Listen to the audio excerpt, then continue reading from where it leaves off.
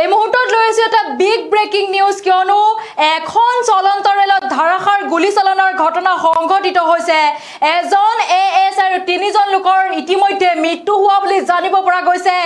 পুৱতি নিশা এক ভয়ংকৰ গুলীবৰ্ষণৰ ঘটনা সংঘটিত হৈছে ৰেলখনত আৰু চলন্ত ৰেলখনত হঠাৎ গুলীচালনাৰ ফলত এজন তিনিজন যাত্ৰীৰ মৃত্যু হৈছে। এই ঘটনাটো ৰেলখনৰ পাঁচ নং দবাত সংঘটিত হৈছে বুলি জানিব পৰা গৈছে।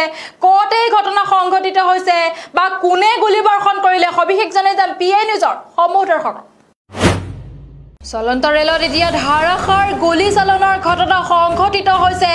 আৰ পি এফ জোৱানৰ নিৰ্বিচাৰ গুলীচালনাৰ ঘটনা এজন এ এছ আই আৰু তিনিজন লোকৰ মৃত্যু হৈছে বুলি জানিব পৰা গৈছে। উল্লেখ কৰিব লাগিব যে গুজৰাটৰ পৰা মহাৰাষ্ট্ৰলৈ আহি থকা জয়পুৰ এক্সপ্ৰেছ ৰেলত পুৱতি নিশা ভয়ংকৰ গুলীবৰ্ষণৰ ঘটনা সংঘটিত হৈছে। পালঘৰ ষ্টেচনৰ সমীপত চলন্ত ৰেলখনত হঠাতে গুলীচালনাৰ ফলত এজন এ এছ আই আৰু তিনিজন যাত্ৰীৰ মৃত্যু হৈছে। এই ঘটনাটো ৰেলখনৰ পাঁচ নম্বৰ ডবাত সংঘটিত হৈছে।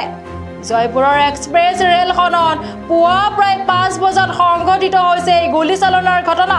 এই ঘটনাত কেইবাজাই গুলীচালনা কৰা হয় আৰু ঘটনাত চাৰিজন লোকৰ মৃত্যু হোৱা বুলি জানিব পৰা গৈছে। কেইবাজনো আহত হোৱা বুলি ইতিমধ্যে জানিব পৰা গৈছে। বৰ্তমান অভিযুক্তক গ্ৰেপ্তাৰ কৰা হৈছে।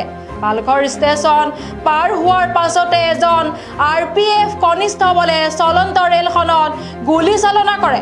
তেওঁ আৰ পি এফৰ এজন এ এছ আই আৰু আন তিনিজন যাত্ৰীক গুলীয়াই হত্যা কৰাৰ পাছত দহিচৰ ষ্টেচনৰ সমীপত ৰেলৰ পৰা জঁপিয়াই দিয়ে। ৰেলৱে পুলিচে উল্লেখ কৰা অনুসৰি অভিযুক্ত জোৱানজনক মৰণাস্ত্ৰসহ গ্ৰেপ্তাৰ কৰা হৈছে। এই গুলীচালনাৰ ঘটনা পালঘৰ আৰু মুম্বাইৰ মাজৰ দহিচৰত সংঘটিত হৈছে। গুলীচালনা কৰা চেতন নামৰ কনিষ্টবলজনক মীৰা ৰোডৰ সমীপত কৰায়ত্ব কৰা হয়। এই ৰেলখন ৰাজস্থানৰ পৰা মুম্বাই চেণ্ট্ৰেললৈ আহি আছিল। বৰ্তমান ৰেলখন মুম্বাই চেণ্ট্ৰেল ষ্টেচনত উপস্থিত হৈছে। চলন্ত ৰেলত এতিয়া ধাৰাসাৰ গুলীচালনাৰ ঘটনা সংঘটিত হৈছে। এজন এ এছ আই আৰু তিনিজন লোকৰ মৃত্যু হোৱা বুলি জানিব পৰা গৈছে। গুজৰাটৰ পৰা মহাৰাষ্ট্ৰলৈ আহি থকা জয়পুৰ এক্সপ্ৰেছ ৰেলত পুৱতি নিশা ভয়ংকৰ গুলীবৰ্ষণৰ ঘটনা সংঘটিত হৈছে। পালঘৰ ষ্টেচন সমীপত চলন্ত ৰেলখনত হঠাতে গুলীচালনাৰ ফলত এজন যাত্ৰীৰ মৃত্যু হৈছে। এই ঘটনাটো এতিয়া ৰেলখনৰ পাঁচ নম্বৰ ডবাত সংঘটিত হৈছে। জয়পুৰ এক্সপ্ৰেছ ৰেলখনত পুৱা প্ৰায় পাঁচ বজাত সংঘটিত হৈছে এই গুলীচালনাৰ ঘটনা। এই ঘটনাত কেইবাজাই গুলীচালনা কৰা হয় বুলি জানিব পৰা গৈছে। ঘটনাত চাৰিজন লোকৰ মৃত্যু হোৱা সমান্তৰালভাৱে কেইবাজনো লোক আহত হোৱা বুলি জানিব পৰা গৈছে।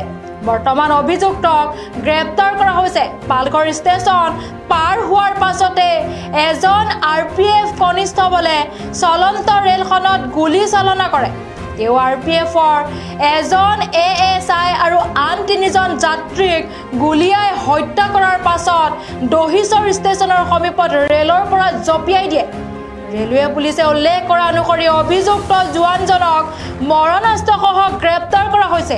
এই গুলীচালনাৰ ঘটনাৰ ফলত পালঘৰ আৰু মুম্বাইৰ মাজৰ দহিচৰত সংঘটিত হৈছে আৰু গুলীচালনা কৰা চেতন নামৰ কনিষ্টবলজনক মীৰা ৰোডৰ সমীপত কৰায়ত্ব কৰা হয়। ৰেলখন ৰাজস্থানৰ পৰা মুম্বাই চেণ্ট্ৰেললৈ আহি আছিল বুলি জানিব পৰা গৈছে। বৰ্তমান ৰেলখন মুম্বাই চেণ্ট্ৰেল ষ্টেচনত ৰখা হৈছে।